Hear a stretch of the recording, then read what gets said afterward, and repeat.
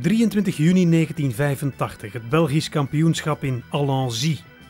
Wereldkampioen Claude Criquelion lijkt onkloopbaar, maar Paul Haagdoorn wint en dankt ploegleider Walter Godefroot. Eh, Ik heb Walter meegemaakt bij Caprison, ik heb andere sportacteurs eh, meegemaakt.